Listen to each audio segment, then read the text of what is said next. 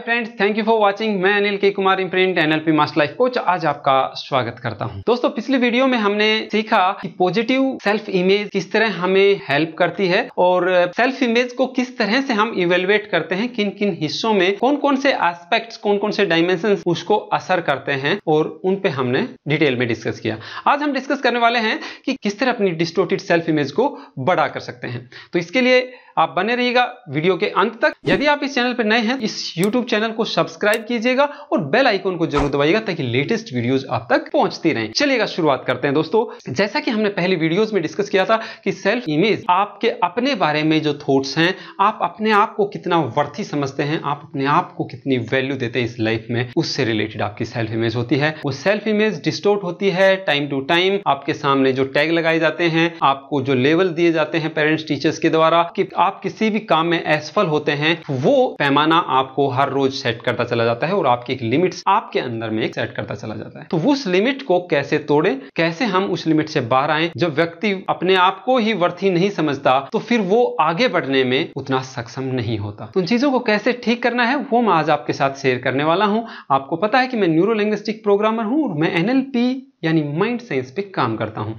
और मैं इसके लाइव सेमिनार्स और वर्कशॉप्स लेता हूँ और मेरे ऑनलाइन कोर्स भी इस चीज़ पे अवेलेबल हैं। यदि आपको फिर उसको डिटेल में जानना है तो आप डिस्क्रिप्शन में जाकर मेरे ऑनलाइन कोर्स को भी ज्वाइन कर सकते हो, जिसमें हर चीज़, हर एस्पेक्ट को बड़ी डिटेल में समझाया हुआ है। चलिए आगे बढ़ते हैं और आपके टॉपिक को कवर करते हैं। यदि आपकी सेल्फ इमेज डिस्टोर्टेड है तो सेल्फ इमेज बनाने के लिए आपको अपने सेल्फ टोक यानी अपने आप से आप कैसे बात करते हो, उस चीज़ को आपको कुछ कुछ समय के लिए ऑब्ज़र्व करना होगा। और आप पाओगे कि आप ही अपने आप को बहुत सी नेगेटिव फीडिंग दे रहे हो। और उन फीडिंग्स को चैलेंज करना होगा आपने, उन फीडिंग्स को फ़िल्टर करना होगा, अच्छी फीलिंग्स आप लेते रहें और नेगेटिव फीलिंग्स को आप बाहर कर दें। तो पहला काम तो यही होगा कि आपको आपका ऑब्जर्वर बनना होगा। आप अपने आप से किस लैंग्वेज में बात करते हो, किस तरह से बात करते हो, जो नेगेटिव थॉट्स और जो नेगेटिव फीलिंग्स आप अपने अंदर लेते हो, उनको आपने फ़िल्टर लगाना होगा। पहला काम होगा फ़िल्टर लगाना। दूसरा काम होगा कि अपने लिए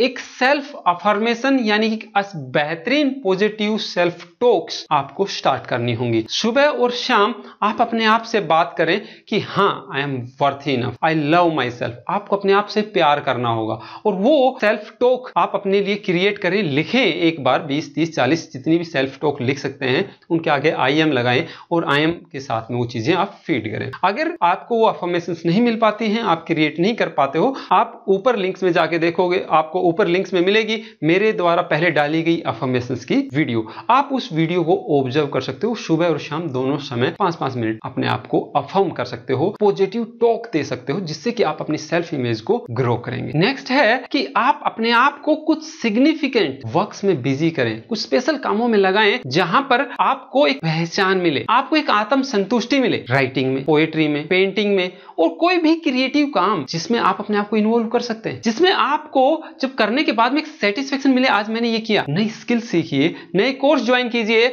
और नए पैटर्न से अपने माइंड को प्रिपेयर कीजिए। आज तक आपने बहुत कुछ पढ़ा है, आप किसी भी एक पर्टिकुलर सब्जेक्ट में आप बेस्ट हो सकते हैं, लेकिन क्या आप अपने माइंड को हैंडल करना जानते हैं? तो अपने माइंड से रिलेटेड कोर्स कीजिए मेडिटेशन कीजिए, किसी भी सिग्निफिकेंट वर्क में अपने आपको बिज़ी कीजिए, जिससे आपकी अपनी सेल्फ इमेज को ग्रो करने में आपको अल्टीमेट फ़ायदा होगा। नेक्स्ट है, आप एक चीज़ देखिए कि आप किस फ़ील्ड में जाना चाहते हैं, किस जैसा बनना चाहते हैं, कितना शांत, कितना रिस्पॉन्सिबल और कितना डेडिकेटेड बनना चाहते हैं, किसके जैसा बनना चाहते हैं, वैसे रोल मॉडल्स को डिसाइड कीजिए और अपने रोल मॉडल के साथ समय बिताइए। अब आप कहोगे, सर, मेरा रोल मॉडल तो आज इस दुनिया में ही नहीं, मैं उसके साथ कैसे समय बिता सकता हूँ? तो अपने रोल मॉडल्स के साथ समय बिताइए। अब रोल मॉडल के साथ समय बिताने के बहुत से तरीके हैं। मैं समझ सकता हूँ कि आपका रोल मॉडल के पास हो सकता है, इतना समय ना हो कि वो आपको समय दे, लेकिन यदि आप उसकी लिखी हुई किताबें पढ़ते हैं, वो आप उसका इंटरव्यू ले रहे हैं। आपकी स्टेट ऑफ़ माइंड लिखी हुई किताबें पढ़ रहे होते तो आपका स्टेट ऑफ़ माइंड और उसका स्टेट ऑफ़ माइंड एक लेवल पे होता है और उस वजह से आप उसी की तरह सोचने लगते हैं। दूसरा,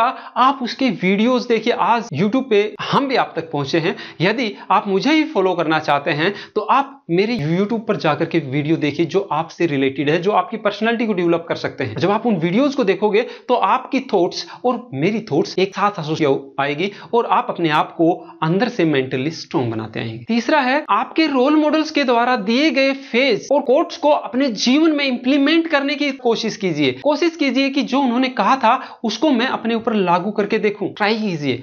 आप एक हफ़्ता ट्राई करके देखिए, आपकी ज़िंदगी में एक अल्टीमेट रिलीफ मिलेगा।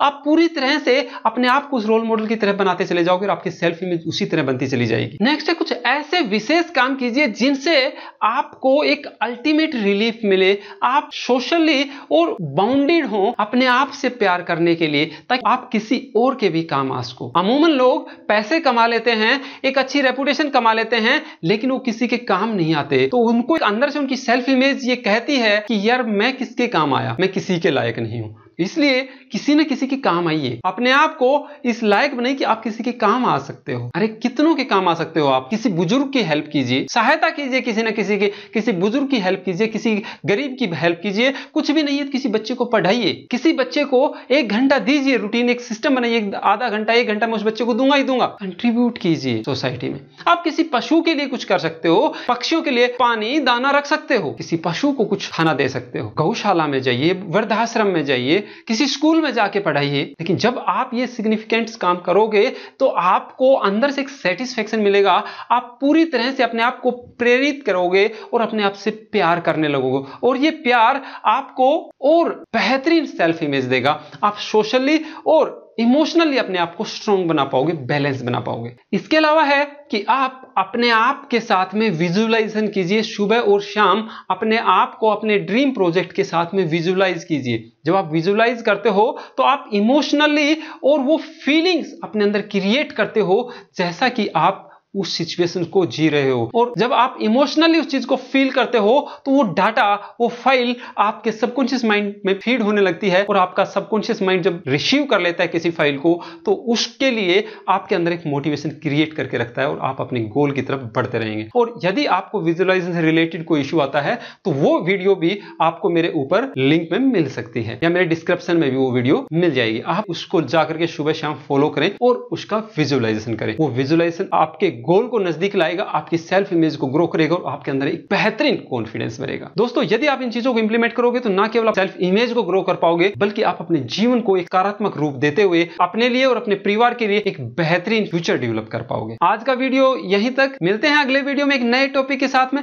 आपका कोई सुझाव है, आप किसी और चीज़ पे जानना चाहते हैं कमेंट करके बता सकते हैं कि आपकी किस चीज़ पे रिक्वायरमेंट है। मैं उसी से रिलेटेड वीडियोस आने वाले टाइम में आपके लिए क्रिएट करके दूँगा। और आपको ये वीडियो कैसा लगा, मुझे कमेंट्स में ज़रूर बताएँ। और अपने जीवन को और बेहतर, और सक्षम, और समृद्ध बनाते जाएँ। सबसे पहले थैंक यू आपका यहाँ तक बने रहने के लिए, और होपफुली आपने इस चैनल को सब्सक्राइब कर लिया होगा। जो नए हैं वो सब्सक्राइब कर लें, और इस वीडियो को आप अगर अच्छा लगता है तो आप शेयर भी कर सकते हैं। मिलते हैं जल्दी ही नए वीडियो के साथ में, नए टॉपिक के साथ। जय हिंद, जय भारत। आपका दिन शुभ रहे।